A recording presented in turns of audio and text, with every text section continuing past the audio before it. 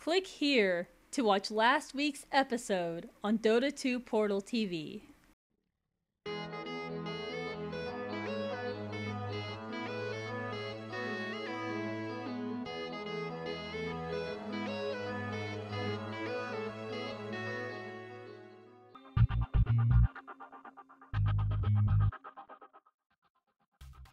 Witch Doctor!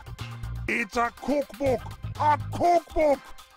Malpractice makes perfect. In Dota 1, if you have Voodoo Restoration active when you get doomed, it gets deactivated. Therefore, it will not heal HP or drain mana while you're doomed.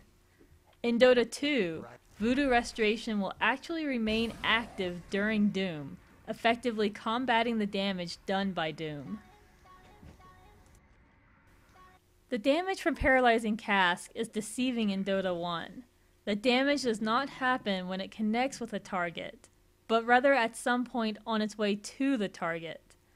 This slightly hinders heroes with a Blink Dagger, who are trying to use it to escape before the cask connects. In Dota 2, the damage happens when the stun happens, which is when the cask hits a target. Here's where it gets confusing. Since cask timing is buggy, it adds even more issues when successfully blinking. If Witch Doctor uses cask right next to you, the cask will bounce from where you blinked from. If Witch Doctor uses cask from far away, the cask will follow you to where you blink to, then bounce. In Dota 2, when you blink, you dodge the cask entirely. The timing does not matter, it will not bounce. The same is true for invisibility. The cask will still bounce to a nearby target in Dota 1. In Dota 2, it won't.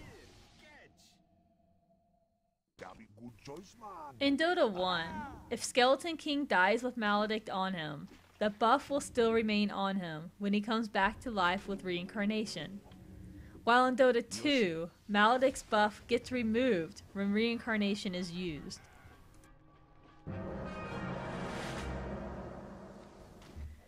In Dota 1, if Witch Doctor cancels his Death Ward, the traveling missiles from it will still find their targets and deal damage. However, in Dota 2, if you cancel Death Ward, the traveling missiles do not deal damage. There's also a weird bug where one of the projectiles will come from the center of the map after canceling Death Ward.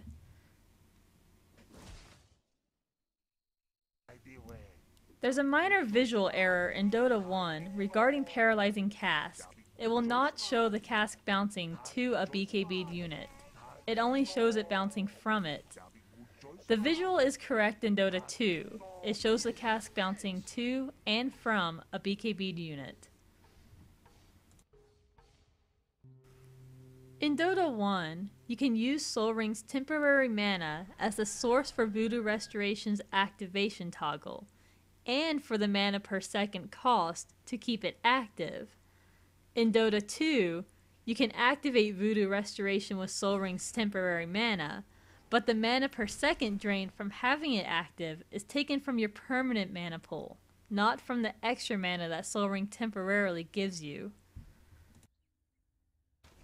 You can actually stun familiars with Paralyzing Cask in Dota 1, which will prevent them from going into stone form.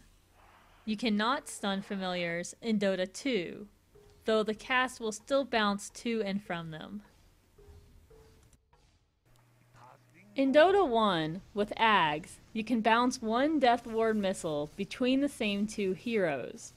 The explanation is the same as Luna bouncing glaives between the same two heroes, so check out her video for more details on the mechanics behind it. In Dota 2, this is now fixed, and heroes cannot be hit by the same Death Ward bounce more than once.